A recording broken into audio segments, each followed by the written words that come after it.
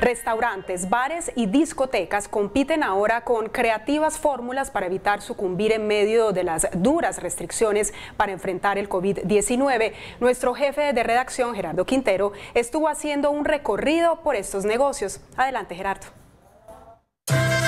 Hola, Soledad. Negocios solitarios. Esa es la triste realidad de muchos establecimientos nocturnos de la ciudad de Cali. Más de 500 de ellos han tenido que cerrar por efectos de la pandemia.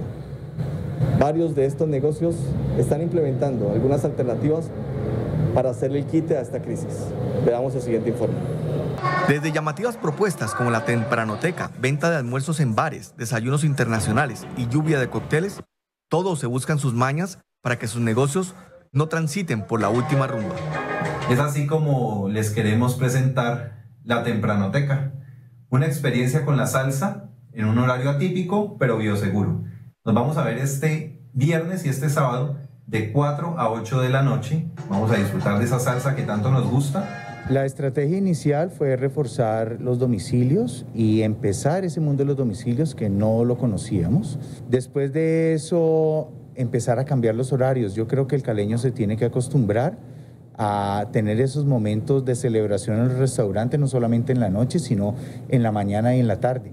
Otros negocios del entretenimiento que nacieron durante la pandemia hacen apuestas audaces buscando a través de eventos como matrimonios, bautizos y hasta venta de almuerzos sobrevivir sin sacrificar a sus colaboradores. Desarrollamos plataformas de, de, servicio a domicilio y eh, lo que intentamos era de tener lugares y espacios abiertos para que la gente se pudiera sentir muy cómoda.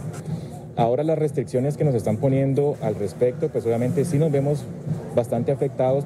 Que no solo vengas como a comer, sino también como que vengas y tardees con tus amigos. Lo otro que estamos haciendo es que cambies el espacio laboral, ya que pues llevamos un año como con toda la parte de trabajo en casa. Entonces como que vengas y disfrutes del aire libre, del espacio abierto que tenemos acá. Pérdidas que superan los 20 mil millones de pesos desde que arrancó la pandemia. Por lo menos 570 negocios cerrados y más de 12.000 plazas laborales que sucumbieron a la crisis es el dramático panorama de un sector del entretenimiento que hoy busca de verdad reinventarse en medio del mal paso de una pandemia que no termina. Sabes más temprano, 4 de la tarde, dar de pronto promociones. Pero como te digo, la cultura caleña está para llegar antes a las 8 o 9 de la noche, ya cuando nos ha cerrado. Entonces, el tema es difícil y por lo cual hemos reducido personal de trabajo, ¿no? Y recurrir a otras alternativas, ¿no? Cada 15 días estoy sacando menú variado, de lo cual pues la gente me apoya mucho, los clientes, los amigos.